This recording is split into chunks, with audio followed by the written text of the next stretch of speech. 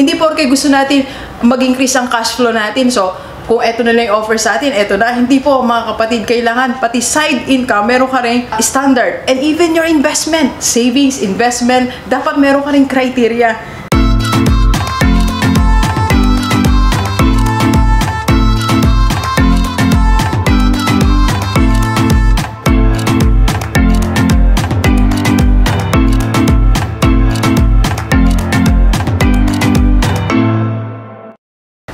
Oshi, Oshi, Oshi. Hello mga G-Livers! Kakatapos ko po kasi mag-TikTok. Please visit my TikTok channel, Doc DG Sumayan. Salamat sa inyo. Sa mga nasa TikTok na nandito na kayo sa YouTube channel ni Rockstar, maraming salamat. So, doon po ang tawag nila sa akin, Crush ng Bayan. ang taray, no?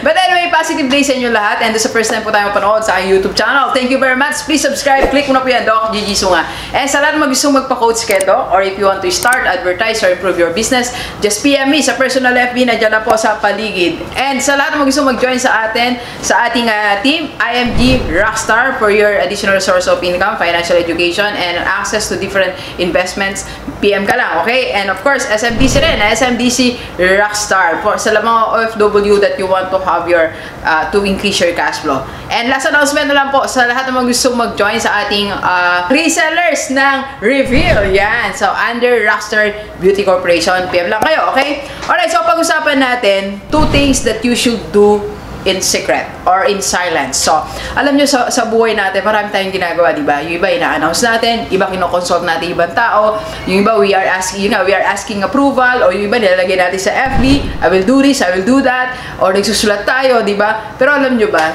there are two things na dapat silently you are starting to do and you are starting to build, alright? So, ano yan, Doc? Ito, mag-usapan natin, okay? So, habang tayo po ay nagko-coffee, mag-coffee tayo mga kapatid. Ang sarap po no, vlog and coffee with the Rockstar. and salamat din sa mga nagpa-coach sa ayan, nandyan sila, US, uh, New York, and uh, Manila. Thank you po ah. Okay, so ganito. Okay, so slowly start formulating your own set of standards, alright? Own set of standards. So, define muna natin na, ano ba ibig sabihin ng standards? Ang standards po, ito yung basihan mo. Ito yung yung mga create, uh, certain criteria before you decide. Okay? Di ba kasi minsan, ayun yung, yun yung nalilimutan natin eh. Yung criteria, yung standard. Alright? So, unang-una, minsan, pag may in-offer sa atin, go na tayo. Sige, sige, di ba? Nagbigay ka agad ng decision mo nang wala kang standard. Hindi mo kino-consider ang standard. Alright? Or minsan naman, nagdi-decision ka kaagad, ang ginagamit mo, may standard ka nga, pero ang ginagamit mo, standard ng ibang tao. Standard, stand, standard ng family mo, standard ng friends mo, standard ng ibang tao. So ngayon kapatid, buwagin mo yan, okay? Erase that type of uh, decision making erase that type of standards na hindi galing sa'yo. Dapat you have your own set of standards, okay? So that the next time na mag-decide ka, sabihin mo ganito, wait, pag-iisipan ko muna. Ang ibig sabihin ng pag-iisipan mo muna, i-evaluate mo based from your own standard, okay? So ano nga ba yung mga ang mga dapat nating binibigyan ng ano uh, or ginagamitan ng standard, okay? For example, eto, I, I doon ako nabagit ko kapon sa vlog pero bigyan ko lang siya, maikli lang, okay? Emphasis, okay? Before going abroad, di ba marami sa atin, nag, marami sa atin offer, oh mag OFW ka, tapos sabi mo na, sige, tuloy tayo. Pero wala kang standard na, wala kang standard. Anong, anong bansa? Dapat may standard ka. Saang bansa ka lang mag-abroad? Kapatid, kasama yon I was talking to my friend, to my best friend, sabi niya, mag, from here, pupunta ako sa dito sa bansa to because of certain reasons. Dapat may standard ka. Pupunta ka dyan sa bansa na yan kasi meron kang sariling standard. Dito ako pupunta because meron akong sariling criteria, kapatid. So, pag nag-abroad ka, hindi ka lang basta nag-abroad. Alright? Meron kang set of standard. So, you have to build that sa sarili mo.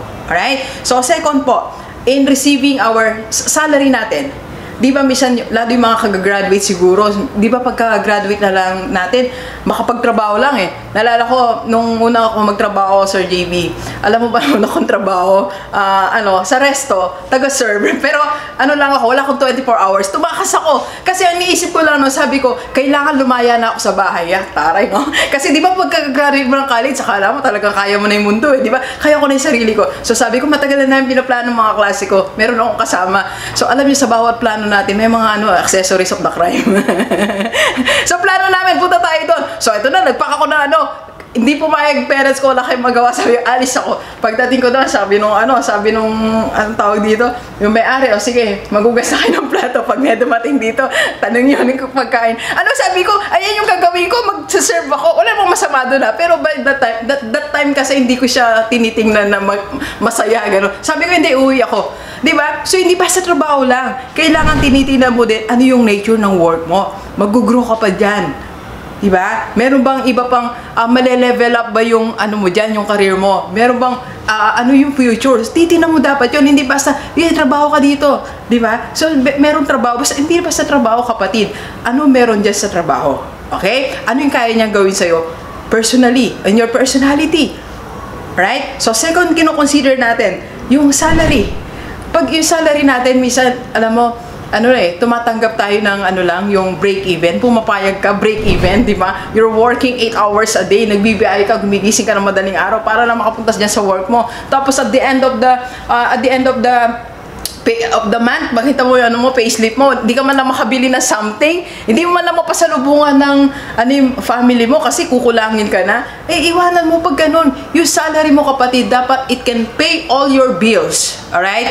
It can pay all your bills tapos may extra pa.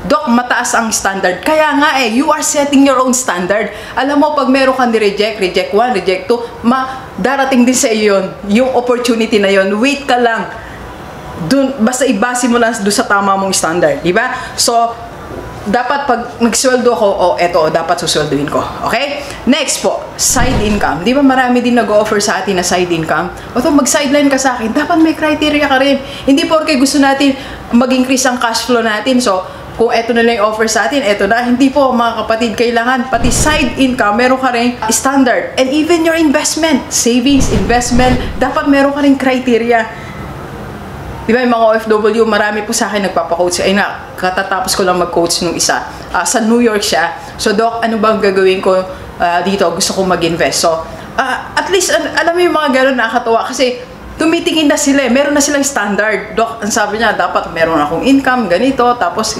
uh, low risk. Di ba yun yung standard mo? Low risk, di ba? Uh, medyo guaranteed ng konti uh, safe yung pera mo. So, meron kang mga criteria or meron kang uh, dividend per year. So, malaga meron kang uh, standard kapatid, kapatid. Okay? Next po. Next. Saan mo pa isa-set ang standard mo? Silently. Yung alam mo, hindi, na, hindi alam ng tao pag in-offer ka niya, pag may in-offer sa'yo, hindi niya alam, nagpo-process ka. Pino-process mo yung offer niya. Tinitinan mo kung, teka muna, base ba sa standard ko, di ba? Another one, eto, uh, in building relationship alam nyo ngayon, napaka ano eh, uh, parang liquid lang, di ba? So, lahat pwede mo nang mamit ngayon, kahit nasa ibang bansa, pwede mo maging best friend, pwede mo maging jowa eh, di ba?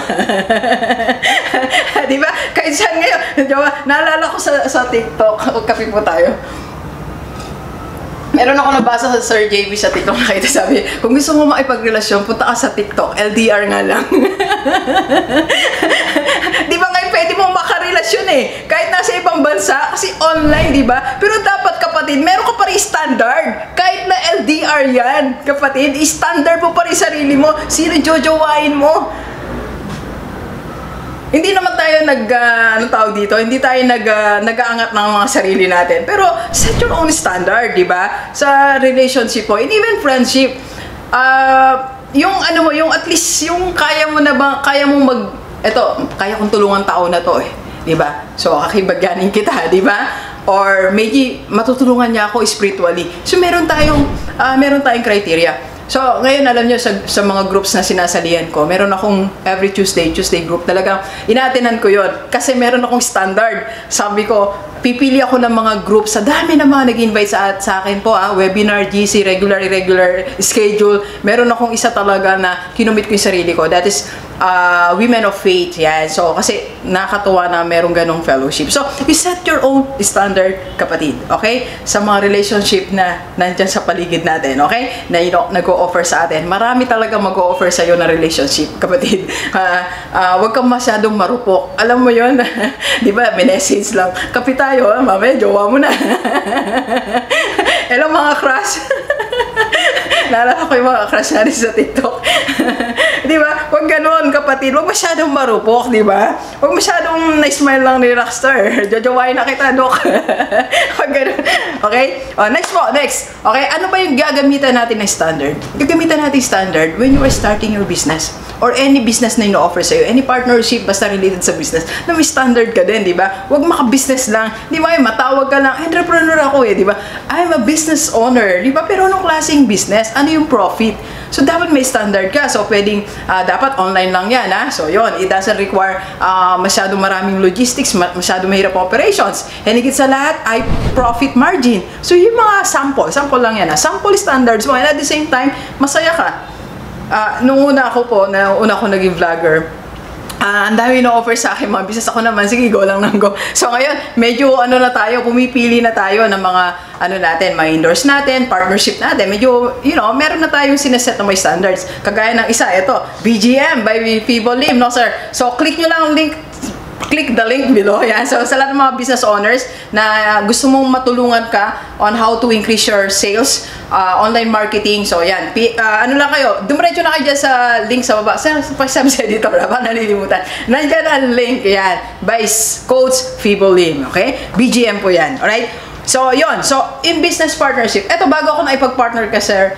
Fibo, explain muna. Actually, maten pa talaga ako ng webinar niya. So, I even have my assistant to enter the GC para mas maintindihan niya yung mga medyo technical kasi para may deliver namin sa inyo na maayos. Okay? Next po, next. Another thing na sesetan mo, sesetan, seset mo ng standard napakalaga po nito, your social media platform. So, hindi basta maka-social media lang, di ba? So, titinan mo din standard. May standard ka din. For example, uh, people are asking me, Doc, bakit nasa TikTok at tapos sumasayaw ka? Pero may standard pa din kami. Right? So, kahit nagsasayaw si Rockstar sa TikTok, may standard. So, I still be, uh, you know, daladala ko pa rin yung brand ng Rockstar, di ba? So, maayos pa rin tayo. So, nilalagyan pa rin natin yung YouTube channel natin for marketing for marketing purposes. Tapos, nandun pa din yung advocacy ni Rockstar na sumasaya mga tao. Alam niyo nung nag-start ako mag-YouTube, kaya lalo ako na-inspire. Ang daming nagme-message sa akin, Dok, nakakatuwa, ganun, ang saya mo lang, uh, relatable ka. Yun ang term nila sa akin, the most relatable coach, uh, masaya ka lang. So, tinuloy-tuloy ko lang. So ngayon, sa kabilang platform, sa TikTok, marami din ngayon, Dok, sumaya ako, gano'n, gano'n. Hindi, doing natin. That's my advocacy. Okay? But I still have my own personal standard. Pag hindi napasok sa standard ko, hindi ko nagagawin.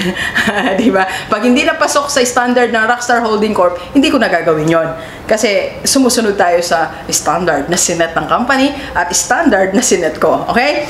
Alright, so social media platform, hanggang kailan ka hanggang saan ka lang magpo-post. So, kung mapapansin nyo po sa posting ko, hindi, madalang, hindi ako nagpo-post ng food, no, sir? Kasi hindi ako makain. hindi ko na pinopost yun, di ba? Hindi ko na pinopost yung, ano, uh, yung part ng bahay namin. Dapat isa lang, yun lang, yung area na yon Tapos, uh, wag masyado sa family, baka mamaya ayaw din nila, di ba? Tapos yung mga kinakain niya, hindi ko na masyado, meron mga akong bagay na hindi ko na sinishare sa social media, right? Okay, so, yan, meron pa akong number 2, mag part 2 na lang tayo mga kapatid, mahaba na to, okay? So, ang challenge ko sa'yo, ngayong umaga na to, hapon na to, kapatid, o gabi mo itong pinapanood, nag-set ka na ba ng standard before making your own decision? Kung hindi pa, start setting your own standard, okay? Kahit ikaw lang nakakalam yan, isulat mo, uh, ibase mo yung standard mo, of course, sa tama, sa Bible, uh, sa based from your needs, based from your plans. Kaya malaga, alam mo ang plans mo, ang purpose mo, your why, di ba? Alam mo yung future na gusto mo, yung buhay na gusto mo. Kaya lahat ng yan, yan ang maging basihan mo when you are making decisions. Okay? Maraming salamat and please share this video sa lahat mga natin kahit OFW o dito sa Pilipinas para sama-sama tayo mabago tumula natin buhay. Thank you very much, Gilivers. Enjoy the rest of the day. Yeah? Let's go, let's go. Puta sa TikTok po ah. And I was dying inside to hold you.